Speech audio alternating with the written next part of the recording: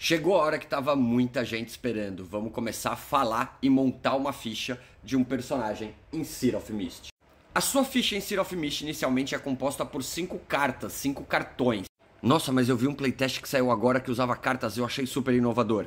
É, há muito tempo Seed of Mist e outros sistemas usam cartões e cartas para montar ficha de personagem.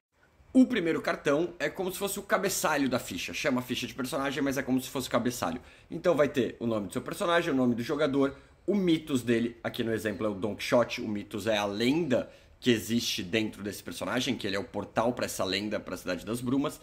O Logos, que é o conceito dele de vida cotidiana. No caso, trabalha no Jornal da Cidade. Aí vai ter o espaço para a galera, que são os outros personagens do grupo, e aí tem essa questão de apoio e antagonismo que eu vou explicar nas regras. E rótulos de história, algo que na história se tornou permanente no seu personagem.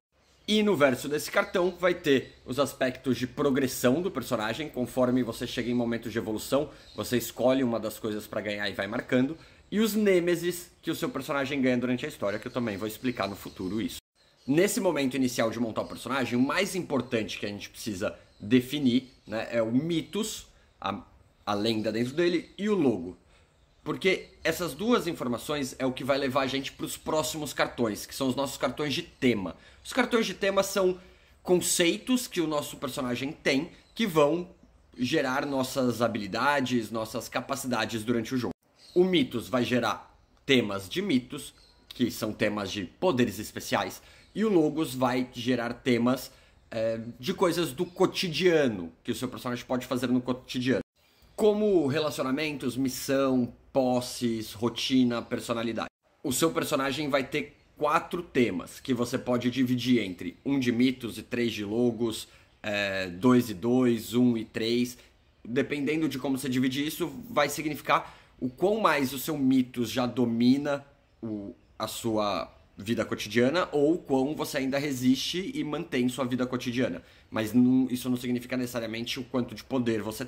Então aqui a gente tem um exemplo de cartão de tema de logos. O tipo dele é rotina, aí qual é a rotina? Buscando os perdidos, você vai escolher uma identidade para essa rotina, que é uma frase, e os rótulos de poder. Os rótulos de poder você vai anotar aqui. Como é que você escolhe eles? Cada tema vai ter 10 perguntas.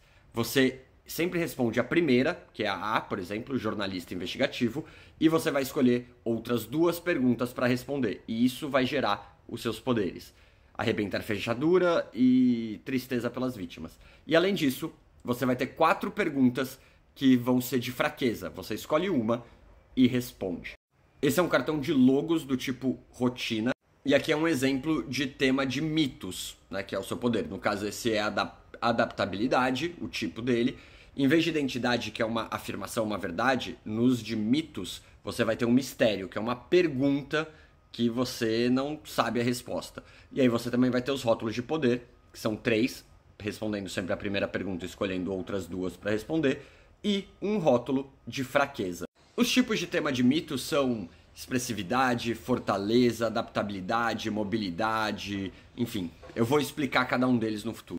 Mas então começar a montar sua ficha de Seer of Mist do seu personagem é muito fácil escolhe o conceito dele, qual é o mitos, qual é a lenda dele e o logos, qual é a vida cotidiana dele, e você vai escolher quatro temas distribuídos entre temas de mitos e temas de logos. Cada tema vai ter um guia com, essa, com as perguntas para você ir respondendo e ele ficar bonitinho. Eu gosto do Seer of Mist nisso, porque diferente de outros sistemas, você precisa pensar, ah, eu quero fazer um guerreiro assim, assado, assado. Você primeiro pensa em tudo e aí depois você vai falar, putz, para eu conseguir fazer o guerreiro, eu preciso colocar força. Aí você vai colocar na matemática, vai pensando nisso, assim.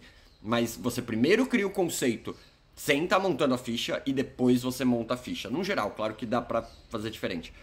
No Seal of Mist, você montar a ficha é criar o conceito. Você pode sentar sem ter ideia do que você vai fazer. E o livro, ele vai te dando perguntas. E conforme você vai respondendo essas perguntas, o personagem vai ganhando vida.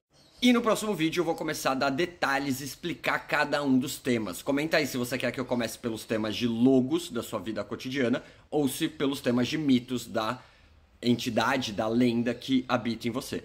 E se você quer acompanhar, se você curtiu, tá curtindo City of Mist, vai lá no site da editora Retropunk, que você usa o cupom narradores e você ganha desconto na compra do Syrup Mist, qualquer suplemento do Syrup Mist ou qualquer material da editora. O desconto é de 5%, mas até o dia 18 de abril é de 10%. Então aproveita lá cupom narradores na editora Retropunk.